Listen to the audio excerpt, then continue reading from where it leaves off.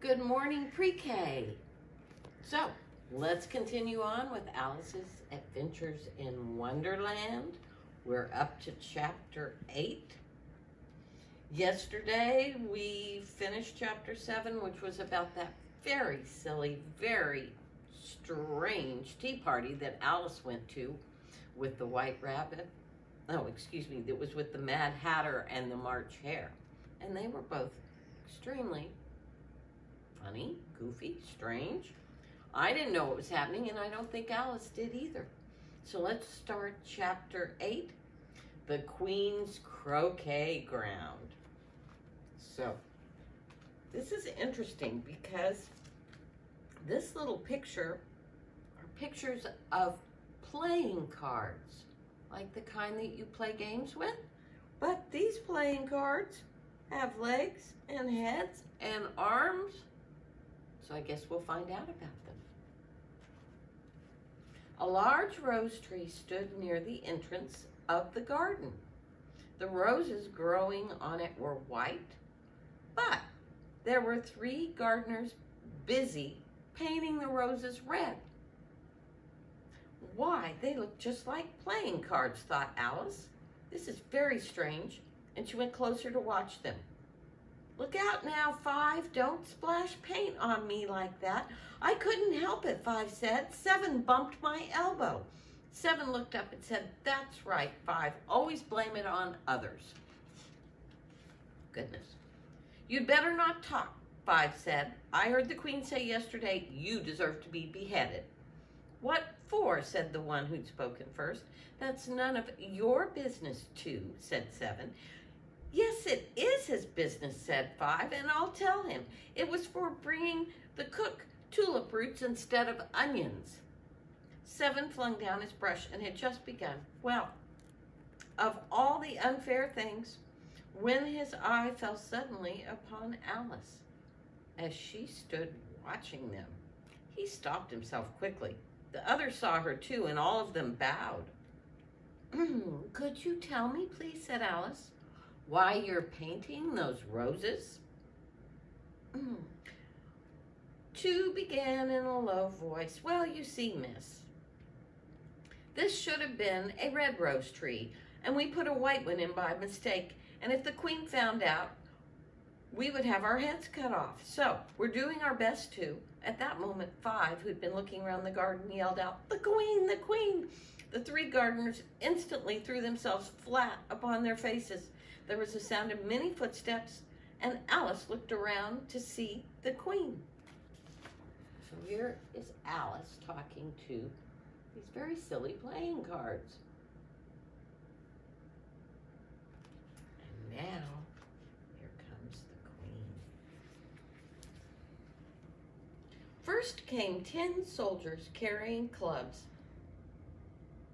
who also looked like cards with their hands and feet at the corners. Next came ten courtiers decorated all over with diamonds. They walked two by two as the soldiers did. And after these came the royal children with hearts upon their garments.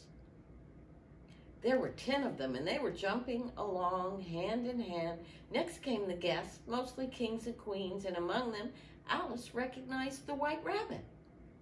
It was smiling at everything that was said and went by without noticing her. Then followed the Knave of Hearts carrying the king's crown on a red velvet cushion. And last of all, at the end of the grand procession, came the king and queen of hearts. Alice wasn't sure if she should lay down on her face like the gardeners. She could not remember a rule about laying down for a procession. And besides, she thought, what's the use of a procession if people have to lay down upon their faces? Then they're not able to see it. So she stood where she was and waited. When the procession came to Alice, they all stopped and looked at her. Then the queen said, Who's this? to the knave of hearts, who only bowed and smiled in reply. Fool, said the queen, tossing her head and turning to Alice. What's your name, child? My name is Alice, your majesty, said Alice very politely, as she thought, why, they're only a pack of cards. I needn't be afraid of them. And here's a picture of all the cards marching along. It's very strange, isn't it? The queen should have people, but she doesn't. She has cards. Oh, and here she is. It's the Queen of Hearts with the king, the knave, and all the playing cards. And she's asking Alice, What's your name? I'm not sure she's nice. We'll have to find out about this. And who are these? said the queen, pointing to the three gardeners who were laying face down in front of the rose tree. How should I know? said Alice, surprised at her own courage. It's no business of mine. The queen turned red with fury and screamed, Off with her head! Off! Nonsense, said Alice very loudly, and the queen was silent. The king laid his hand upon the queen's arm and quietly said, My dear, she's only a child.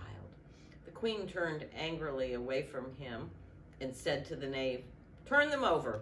The knave carefully turned them over with one foot. Get out, said the queen in a loud voice, and the three gardeners instantly jumped up and they began bowing to the king and queen, the royal children, and everybody else. Stop that, screamed the queen.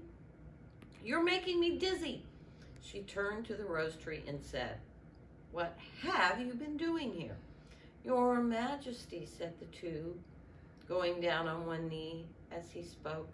We were trying, I see, said the queen, who was looking at the roses. Off with their heads! The royal group left. Three of the soldiers stayed behind to execute the gardeners, who ran to Alice for protection. You won't be executed, said Alice. And she put them into a large flower pot that stood near. The three soldiers wandered about looking for them, and then quietly marched off after the others. Are their heads off? shouted the queen. Their heads are gone, your majesty, the shoulders the soldiers shouted in reply. Can you play croquet? The soldiers were silent and looked at Alice as the question was meant for her. Yes, shouted Alice. Come on then, yelled the queen, and Alice joined the procession. It's a nice day, said a voice at her side. It was the white rabbit, peeping into her face. Very, said Alice. Where's the Duchess? Shh, said the rabbit. He looked over his shoulder, and then he raised himself up on tiptoe so he could whisper in her ear, She's been arrested and will be executed. What for? said Alice. And here's Alice hiding all the gardeners in a pot. This queen, she's quite a mess, isn't she? Just really, really crazy. Ooh, let me check here. Oh, very long chapter, so we will we'll read one more page and then we'll stop here. What for? said Alice. Did you say? What a pity, the rabbit asked. No, I didn't, said Alice. I said, what for? She boxed the queen's ears, the rabbit began, and Alice laughed. Shh, the rabbit whispered. The queen will hear you. You see, the duchess is late, and the queen said, Get in your places, shouted the queen. People ran all around in all directions, and they finally settled down, and the game began. Alice had never seen such a strange croquet ground. There were lots of hills and holes, and the balls were live hedgehogs. And the mallets, that's the little hammer thing you used to hit the ball, were live flamingos. You know, those are those great big pink birds with the long necks. The soldiers stood on their hands and feet to make the arches to hit the balls through. Alice tried to hold her flamingo still, but it kept twisting around so it could look at Alice. She couldn't help laughing, and when she finally got the flamingo to hold still, she looked down and found that her hedgehog had run away. It was a hard and confusing game. The players played at the same time. No one took turns like they were supposed to, and they argued about everything, and the queen went stomping around screaming, Off with his head! Off with her head! Every minute. Alice began to feel very uneasy. We'll stop there. This is the silliest game. Can you imagine trying to hold a bird and use it to play with? And the hedgehog was really smart to run away, wasn't he? This is all very fantastic. Like a silly dream. And here's Alice holding the flamingo. There's her hedgehog starting to run away.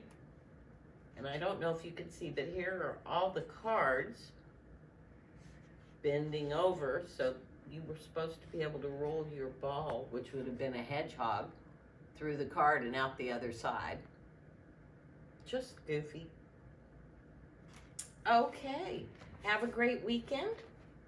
We will finish this chapter. Mm, there's quite a bit of it on Monday, and then we'll be up to chapter nine. Getting really close, guys. Hope you're enjoying this really, really silly story, and I'll see you Monday. Bye.